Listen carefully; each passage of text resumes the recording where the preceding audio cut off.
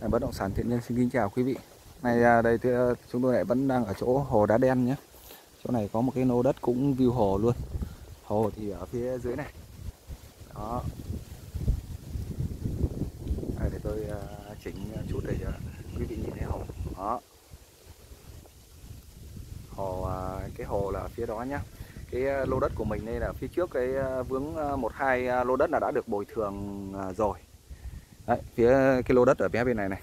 Là, là phía bên trong hôm nay chúng tôi đứng đây cũng chưa cũng không bị dựa đứng ở phía ngoài thôi chứ chủ thì ở xa nên không không có không có chìa khóa để vào. Thì à, bên này có cái nhà yến này. Thì à, đây là có hai lô đất giáp nhau và chủ mua cả hai lô rồi. Lô này chắc khoảng hai sáu mấy ba xào á. Đó thì nó giáp với cái cái lô bên trong này. Lô bên trong kia có hai mặt tiền đường. Đó, thì giáp nhau ở cái chỗ này. Cái cổng ở đây. Giáp nhau ở cái cổng này. Đó thì à, cái chỗ nhà Yến này đi ra phía ngoài tường bao ngoài kia thì là là phía ngoài kia là đã được uh, nhà nước đền bù uh, đất lòng hồ hết rồi và đang sẽ khai thác uh, đất để để lấy uh, lấy đất để san lấp. Đó phía ngoài kia là hồ hồ, hồ đá đen nhá.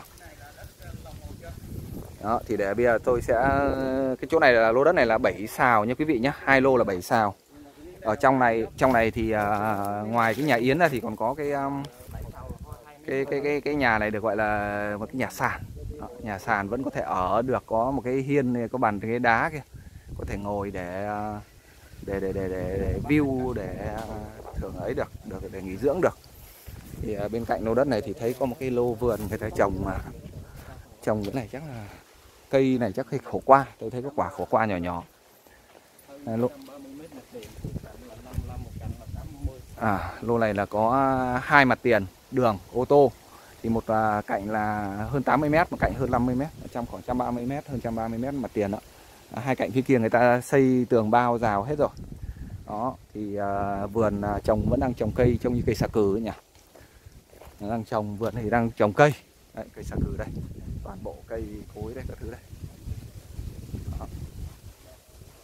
Còn đâu là à, tôi sẽ tạm dừng một chút xíu tôi đi ra ngoài kia để à, cho quý vị xem cái à, cái đường vào.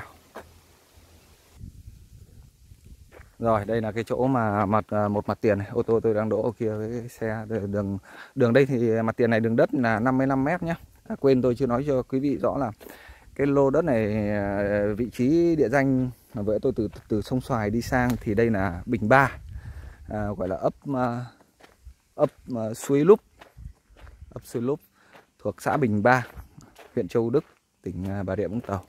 Thế thì cái bên sông Xoài ấy, thì nó lại à, thuộc à, thuộc thuộc thị xã Phú Mỹ, nhưng mà Bình Ba thì lại thuộc Đá Bạc, có một cái dự án của Vingroup về khu Bình Ba Đá Bạc quên của Bình Ba thuộc bên huyện huyện Châu Đức nhá. Mặt tiền đường đất này là vừa lấy là 55 mét.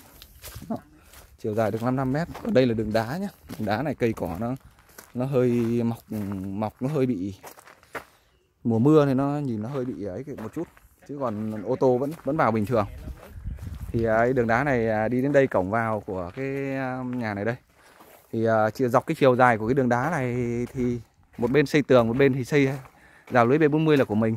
Thế thì uh, dọc cái chiều dài của cái cái cái cái đường này là 80 mét nhé 80 mét tổng cộng là hơn 130 mét thì à, đấy có một lô đất ở số xã Bình Ba huyện Châu Đức 7 sao.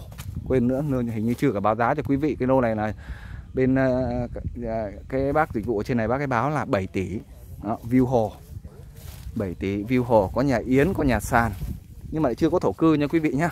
Có khá nhiều cây xà cừ ai có thể lấy gỗ để đóng các cái bàn loại thường thường gì đó bàn cà phê hay bàn gì đó thì được đó, thì uh, quý vị nào quan tâm uh, đến một cái lô đất như thế này thì có thể gọi điện cho chúng tôi theo các số điện thoại ở dưới. Ngoài ra thì cũng cảm ơn quý vị đã đồng hành và xem video của chúng tôi rất nhiều trong thời gian qua. Thì uh, quý vị nào có cái góp ý hay là cần mong muốn gì thì có thể bình luận ở phía dưới. Để chúng tôi sẽ trả lời hoặc là chúng tôi sẽ liên lạc lại nếu có số điện thoại. Xin cảm ơn và hẹn gặp lại quý vị ở trong các cái video lần sau.